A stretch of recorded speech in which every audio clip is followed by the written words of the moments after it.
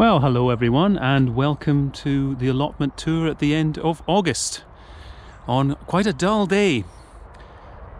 But we have had some rain, which is a bit of a blessing. And as always, kicking off with the rhubarb bed, the uh, teddy bear, sunflowers have been whittled down to just one. Uh, they succumbed to a virus, so we probably won't uh, grow those again. Mind you, some on the other part of the allotment have uh, done reasonably well, so it might be just depending on the area. Popped in some penstemons, which is a kind gift from uh, somebody.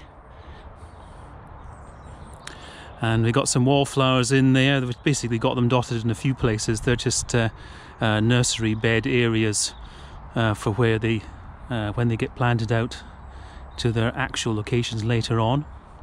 We still have some potatoes over there. We're getting near to the end of those and this is the uh, strawberry bed. We've got our everbearers at the front, which are actually being a lot better than um, than they were last year. I say last year they were kind of on their last chance, but uh, uh, this year they're seeming to uh, uh, give us something, a little bit, you know, a bowl of strawberries every week. So we've got some leeks going strong in there. The leeks are doing rather well this year. So the bean wigwams have managed to uh, stay upright in the uh, the storms that we've been having. Uh, thankfully, I uh, after last year's lesson, I've uh, put in these extra posts and uh, lashed the bean wigwams to them, which seems to have been enough. There is a slight lean, um, but nothing too detrimental. They've certainly been producing quite well in well patchy as the the yellow variety um, better than the green. And of course the uh, berries the gooseberries and black currants are now over. Sweet candle carrots um, when they're not being bounced on by the foxes uh, are actually rather nice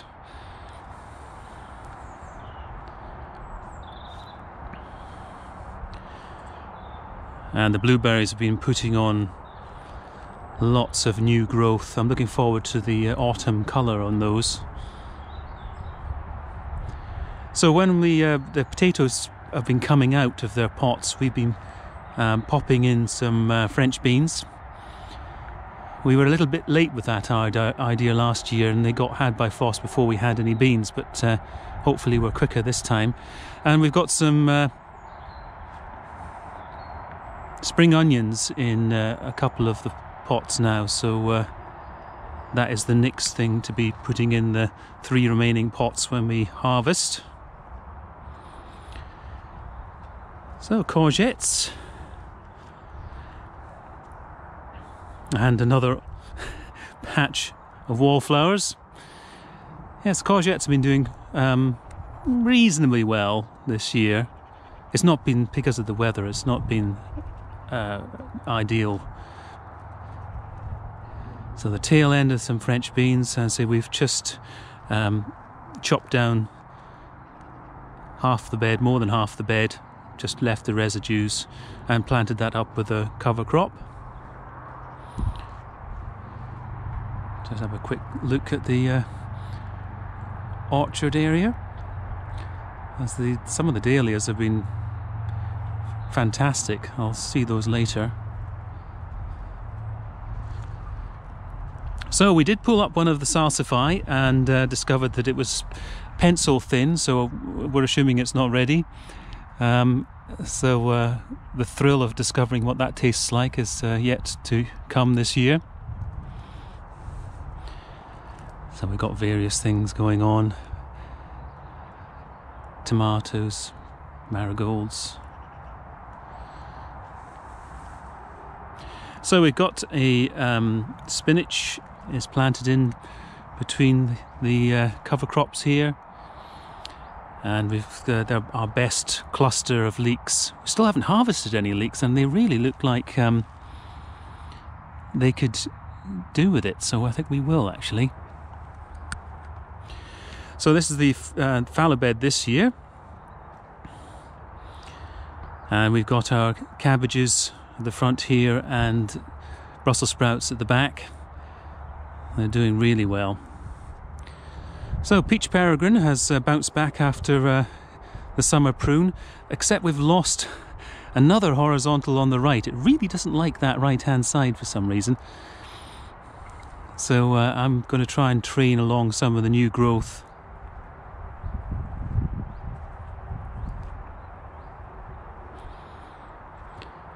So we got another Pike's Peak, a late entry um, in this little bed here with uh, I really like this cosmos color.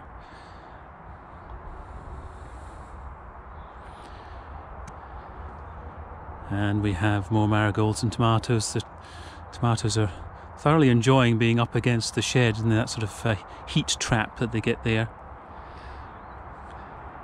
So the uh, main Pikes Peak um, has uh, drooped over, got a bit of a battering. I, I really thought if I hadn't lashed it to the uh, um, Peregrine's post there, I think it would have been a goner.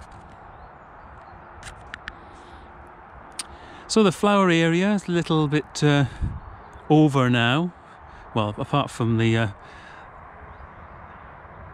the teddy bear sunflowers, which seem to rather like it in that spot. Uh, the peppers going well. We've had uh, a few early fruits off those th- thanks to a branch being snapped off in the storm.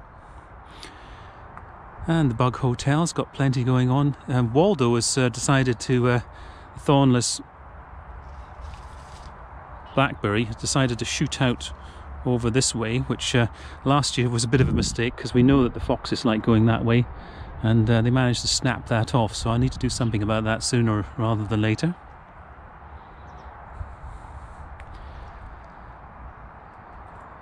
Some more wallflowers. These are actually where they're going to end up, so they're in situ. As the dahlia cuttings this year have, have uh, put on some lush growth, but no flowers yet. So that's the white perfection there, looking rather grand. And the pluot is, uh, is recovered from its pruning. So we have some pak choi down the front here and more on the other side. And uh, strawberries, um, uh, here we got strawberries and raspberries. The raspberries polka variety um, has been providing some fruit in its first year. So the super column plums and that rogue cherry I've given them a pruning.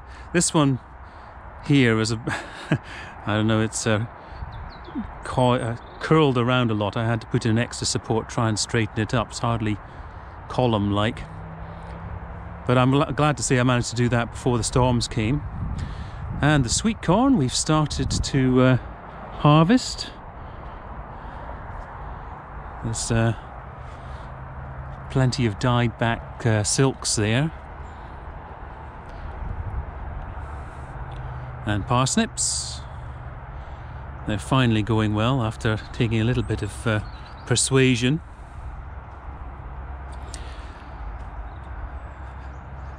So this is going to be our fallow bed uh, for next year. It's got some red cabbages down the end there, which will be coming out gradually. And our tomatoes, just letting some lettuce uh, go to seed here. Whether we'll uh, collect it, I'm not so sure. There's a new lettuce down here. Some cover crops, kohlrabi, some more peppers.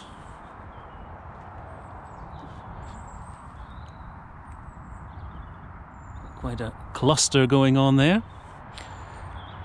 And here are dahlias. Oh, look, the bee having a little kip there. This is Otto's Thrill, and it's it's as big as my big hand. And it's lasted, this one's been like that for over a week. So, Cafe au lait. Hidden in here is uh, oh, Lavender's Perfection.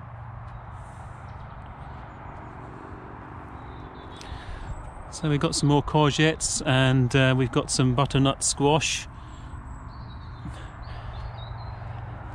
They're not doing so well really because uh, um, we had we haven't really added anything organic to the the holes they were planted in. Some odds and sods here. We've got some beetroot there, and the lavender walk is is nearly over, but there's still still some flowers attracting some bees.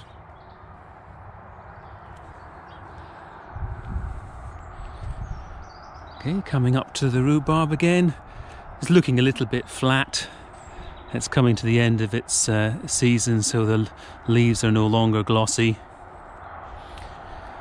So the Tayberry, I've actually got um, a couple of the uh, new bits of growth I've gone and pegged in under the soil. I'm hoping to get a couple of new plants so that we can actually have one on either end of the uh, support structure rather than one in the middle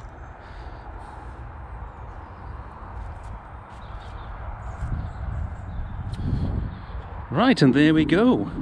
That is the plot for the end of August. I hope everybody's keeping well, and I will see you in the next video. Bye for now.